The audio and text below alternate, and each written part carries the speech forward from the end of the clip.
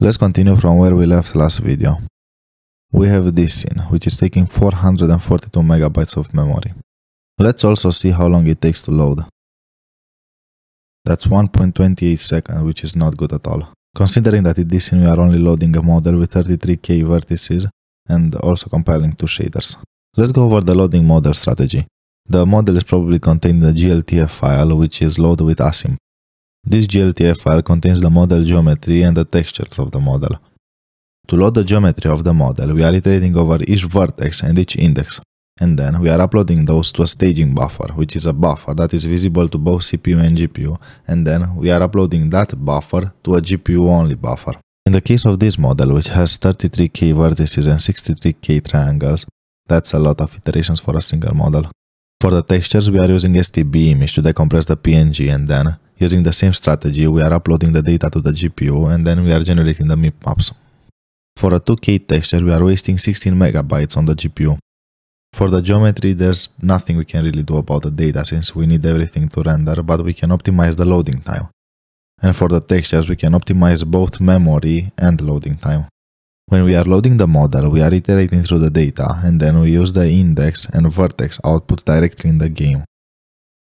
What if, instead of doing this, we are separating the core loading logic into a different executable, and then the output we are writing in a binary file along with some metadata to help us load the data faster. And then we are reading the data directly into the staging buffer and from the staging buffer directly to the GPU. Now, on runtime, the whole loading logic is just one line of code. For texture loading, we can do the same. We can take the output from an STB image, write it to a binary file, and then read that output directly into the staging buffer and then on the GPU. But now we are only optimizing the loading time. Let's understand the memory footprint of the image. This is how much memory each MIP takes. And keep in mind that this model has 12 textures, so that's around 250 megabytes. This is no good at all. Actually, this is really bad. To fix this, we can use Khronos textures. The powerful thing about this is that we can convert from PNG to Khronos texture and then to block compressed texture.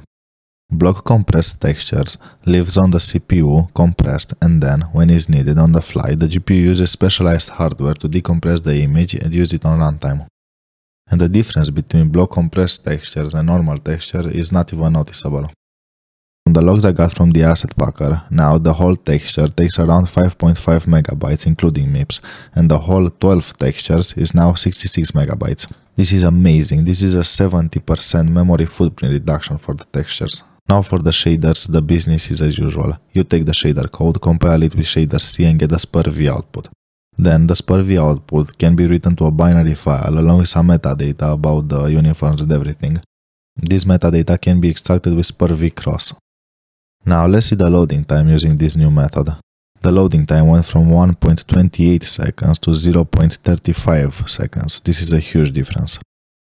There is also one big hidden advantage. Now we don't have to link all these dynamic libraries to our game executable. We can just link them to the asset packer and use the output of that in our game. And this whole workflow can be automated with shell scripts for convenience.